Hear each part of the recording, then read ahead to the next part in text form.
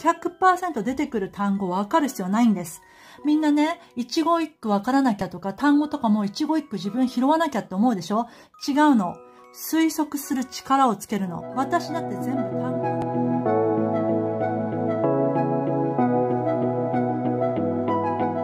Hi guys, welcome back to another video. 皆さん、こんにちは。考え方から日本人の英語を変えるコーチあやみです。これね、エアハグね。ハグしております。皆さん、エアハグでございます。はい。ということで、いつもね、前置きが長くなるので、早速ね、今回もリーディングしていきましょう。3D リーディングね、実践あるのみなので、どんどんどんどん一緒にやっていきましょう。で、今回も前回と同じジャパノロジーから、今度はね、バウエングっていう項目を扱います。はい。じゃあまずね、本編に移る前に皆さんこの後映像を止めて、一通り目を通してね。はい。ではね、皆さん早速なんだけれども、今回ね、タイトルのバウね、これについてまずはお勉強していきましょう。ネイティブと対等に会話するためには、実践でね、英語、話せる英語、本当に使える英語を身につけるためには、学校で習わない知識必要なんです。ね。そのうちの一つがこの IPA よね。IPA? 何ですか？これ？International Phonetic Alphabet？ね、これね、国際音声記号をと言います。果たしてそれ何のことなのか、英語の正しい音を教えてくれる先生がこの国際音声記号 IPA です。そしてこの BOW ね、このスラッシュで囲まれたね、この部分が IPA になってますよ。スラッシュで囲んで IPA っていうのを表すのね。そしてこの A、アルファベット A にちょっと丸みが帯びたような音、これが、あ、これどういう音かっていうと、O と A が混ざったような音。すなわち、あ、い、う、え、お、おの口で、あ、を言うの。おの口で、あ、バウ、ボウではなく、バウね。で、このバウの音だと、V、お辞儀するだし、N、now、名詞だとお辞儀になります。じゃあ、このおの口で言う、あの音で表される他の単語、皆さんご存知のもの何あるのかっていうと、wash とか odd ね。これ、だから、ウォッシュ。ウォッシュ？でも、odd。おじゃない。ね。おではなく、おの口で言う、あ、こっちよ。だから、wash, odd。ね。OK? そして、お。おの方も、これね、bow って書いて、bow とも呼べば、bow とも使えるの。そしてこれ、おの読み方をした場合、bow だと、弓になる。そしてこれね、わかんなくなっちゃったらみんな、よくご存知だね。rainbow ね。rainbow あ、入ってるね。bow。あ、ここに bow 入ってるじゃん。あ、じゃあ、rainbow。bow の時は、弓なんだな。って覚えてね。はい。では早速本編に入っていきましょう。はい、皆さん、前回のまずおさらいね。英語はとにかく、左から右に読む。戻らないね。戻る和訳。日本方式の和訳にしない。左から右に読む。そして、メインの SV、主語動詞をつかむ。そして、接続詞は助け舟。接続詞の力を借りて類推したり先読みする。そして 5W1H のアンテナを立てながら先読みするのよね。はい。ではね、早速文章1からいこう。はい。では文章1。Bowing, known as a jigi, is the traditional form of greeting in Japan. はい、このバウエン。これもね、皆さん、いちいち日本語にしない、コツいち、いちいち日本語に訳さない、バウエング、お辞儀だよね。もうお辞儀、バウエングって分かったら、バウエングっていうのはって考える。バウエング、known as お辞儀。はい、ここは何が省略されてますか ?it is とか、バウエング is だよね。ね、こういうふうに it is とか、bowing is とかっていうのは簡単に省略されちゃいます。はい、bowing, known as お辞儀。知られている、お辞儀として知られている bowing っていうのは何なのみんな ?SV 主語動詞なんですか ?S は bowing だね。V は V だね。はい、SV。そして C ね。そして、この of greeting in Japan はカッコに囲んでしまうと。That's the traditional form ね。で、はい、皆さん、そして SVC、SVC で、これ V が B 動詞の時見たら、これね、私前回皆さん申し訳ない。S イコール C ね。V イコール C ってテロップに V イコール C って書いてたと思うけど、S イコール C ね。訂正してお詫び申し上げます。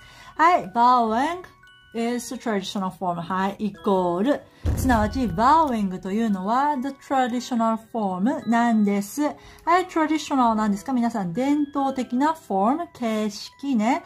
bowing というのは伝統的な形式なんです。日本人私たち苦手よね。このだ、皆さんだ。だって？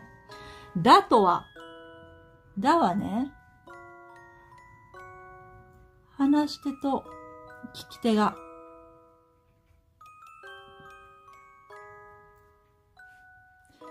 共に共通して認識しているもの。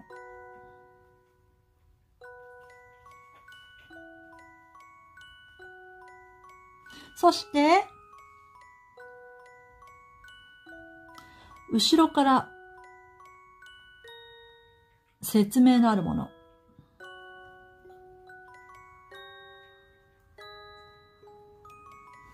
だから、この場合は、う Going in Japan これ説明してるんだよね。だから、ここ、that of ね is the traditional form of greeting in Japan. はい。トラディショナルフォーム、伝統的な形式なんです。何の？何の伝統的な形式なんですか？挨拶のだよね。どこに置いて日本に置いて。はい。そして次2文目。However, bowing can also be used to indicate gratitude, congratulations, or an apology. はい。皆さん、助け舟。助け舟。however が出てきたら、話がひっくり返る？それか話がちょっと変わるぞ？はい。皆さん、文1では何て言ってたの？文1ではバーウィングというのは伝統的な形式なんです。挨拶のね、日本においては。2文目では however しかしながら bowing 主語は変わらないよね。bowing 主語なんですか？bowing 動詞は can also be used ね、これもまた受け身だよね。bowing, bowing 主語主語変わらない使われますよ。何にするのに何するのに ?to indicate gratitude to indicate ここでもこれ SV to indicate これも V だよね。indicate する何をこれが O1、O2、or an apology, O3 はい。gratitude. 何ですか？皆さん感謝、congratulations. お祝い。それか an apology. 謝罪だよね。そしてこのインディケートが皆さん、はてはて、インディケートがわからないよってなったら、後ろから考える。皆さん、グラティチュール、感謝っていうものは何するものですか？感謝とは感謝は、表現するものとか、表すものだよね。だから、表すを意味するのかな？かな？こういう風に考える。インディケートの意味がわかんなかったら次に進むの。次に進んでグラティチュードはわかるな。感謝ってどうするものだろう？感謝って表すものだよな。だから表現するとか表すって意味かな、インディケートは。って考えれば OK。そしてね、これ、ちょん、ちょん、or 何々。この A とか B とか C とか D、点点点点。これいくつもね、いくつもいくつも無限に続いていけるとね。無限に続く。最後、最後を表すときは、ちょん、or か and が来たら、これは、あ、ラスト。これが、サインね。いくつも並列してったもの、A, B, C, D、何々何々何々コンマ、オアか、アンドが来たら、あ、次ラストが出てくるんだなっていう、これサインね。OK。これも覚えておいてね。だから、ここで、or が出てきたから、1、2、or 3。だから、or 3。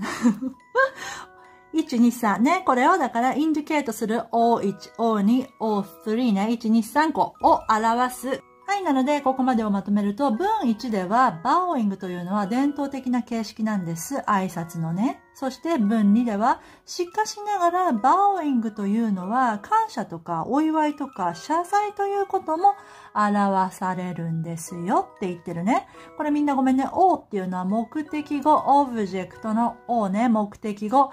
SVO、V ね。表すって言ったら、表すって言ったら何をでしょ何をね。だから、表す何を、これは目的語よね。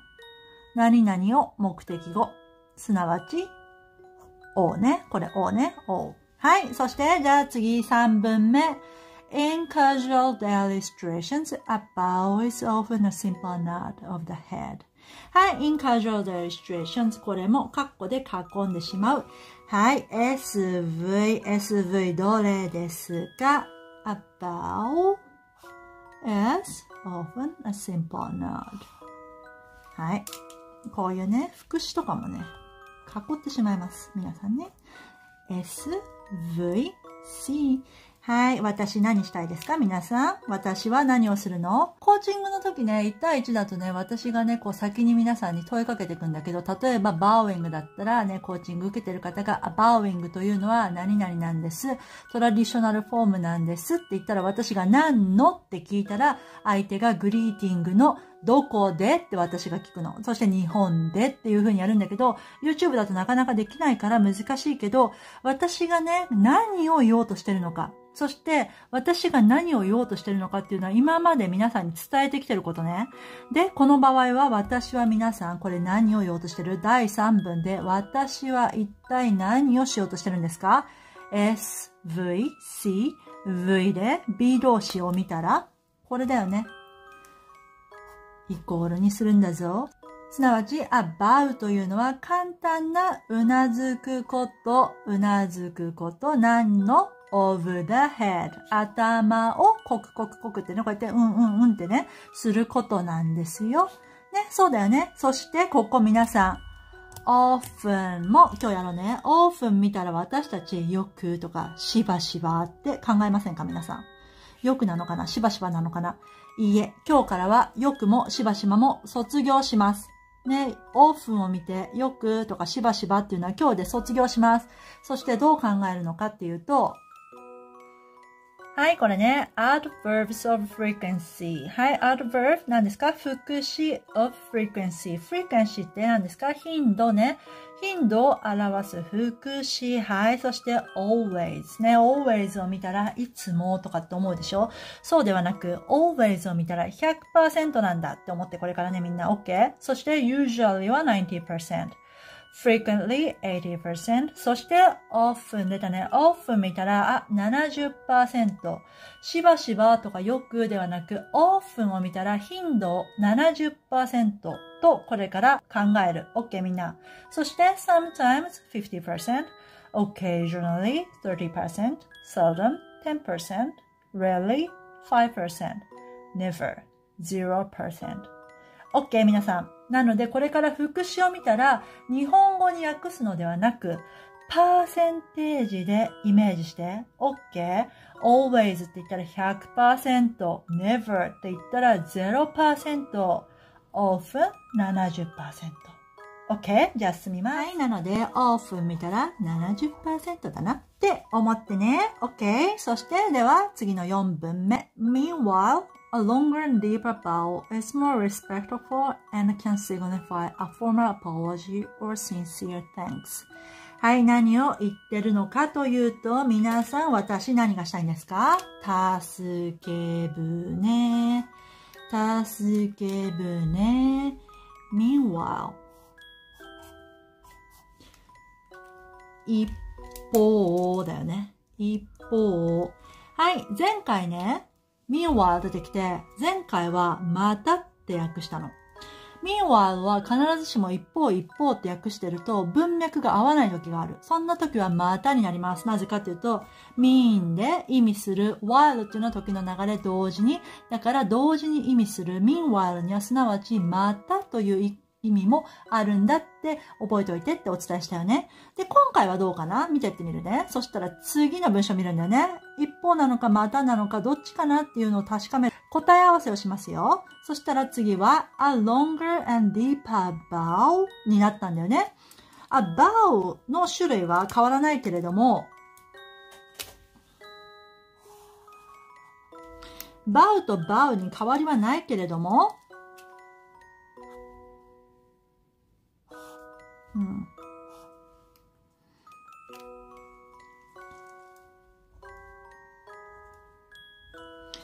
はい。バウとバウに変わりはないんだけれども、より長くて深いバウになったんだよね、こっちは。こっちはただシンプルなバウ。こっちはより長くて深いバウの話になりました。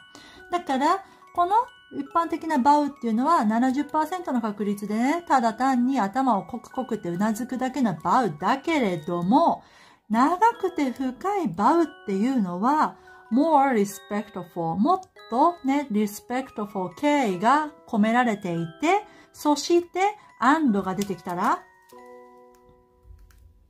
縦に開くんだよね、みんな。And が出てきたら文を縦に開く。こういう風に or が出てきた時もそうだったね。ここ説明しなかったけど、gratitude, congratulations, or an apology. こう縦に開いてってね、皆さん。OK? ここでも and が出てきたら縦に開く。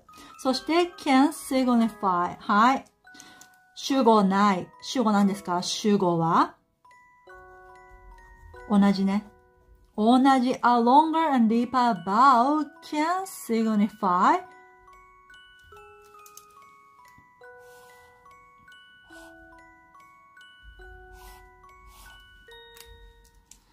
S, V, O, 1, O, 2ね。これね。はい。これ、皆さん。あ、そうそうそうそう。ここね、SVC。あ、ここもイコールかなって結びたくなるよね。SVC じゃん、あやみ。これ、さっきほら SVC で B、これ B 動詞だし、あ、ここイコールでしょって思うよね。これでも皆さん、respectful って形容詞よね。これね、複雑、ちょっと難しい C ってね、これ名詞と形容詞の場合があるのね。で、この形容詞の場合というのはちょっと違くなるの。すなわち、例えば例を取ると、I am happy. これ、私とハッピーってイコールじゃないよね。近い。私は幸せです。私はハッピーです。近いけれども厳密に言うと私イコールハッピーではないよね。だからこれね、形容詞の時はちょっと異なるの。ね、名詞と形容詞の時 C ね、ちょっと異なるんだけど、これ考え出すとわかんなくなっちゃうと思うから、とりあえず SVC でこの C がね、名詞の時っていうのは S イコール C なんだって思って。OK? あんまり今複雑に考えないでいいから一緒にやっていけばわかるようになるからね。はい、そしてじゃあここね、can signify. はい、a longer and deeper bow っていうのは signify. はい、皆さん。signify って何だろう ?V 大事なんだよね。動詞とっても大事なの。だけどこの signify がわかんなかった。どうする ?signify がわかんなかった。そんな時は、このね、あ、サイン、なんかもうサインの家族語かな？家族語かな？あ、サインってまあ意味するとか署名するとかだよね。って考えてもいいし、もう一つは皆さん、英語っていうのは、リピートするって私お伝えしたよね。英語というのはリピートするんです。見てみんな。however, meanwhile, 逆矢印。そして、バウの話は一緒よね。主語バウは一緒。そして、これ？A formal apology, a formal apology. sincere thanks, gratitude.